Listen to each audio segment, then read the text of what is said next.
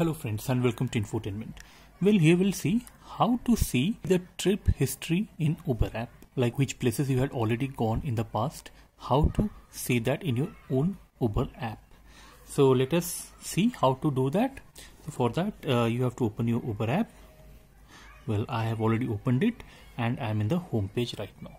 So how to see your past? So to see your past trip history just go to this bottom part and you'll see something called activity. Just go to activity. And uh, once you go to activity you will see this kind of thing. So recent one will be coming here like January 8 and if you go further down you can see all your rides over here.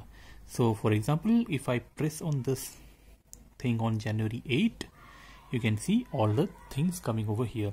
Uh, Uber auto ride with uh, some driver name your cost uh, from to from destination then to destination and whether you have paid tip or not what is the rating everything will come over here.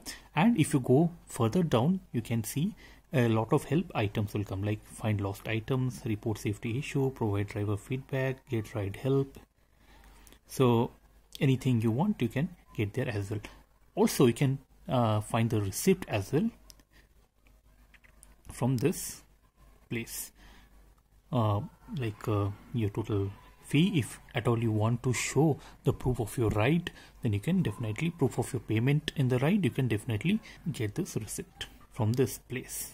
You can download or send email. So all these things can be done from this place. Once again i show you when you are in home page simply go to this activity tab and press on activity.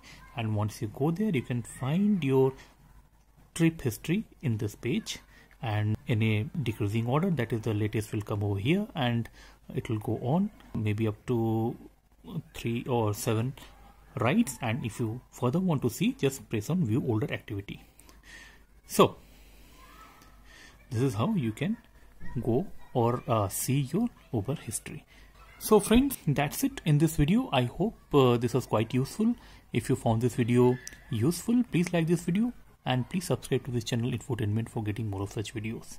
So keep watching infotainment. Till then see you again. See you soon. Thank you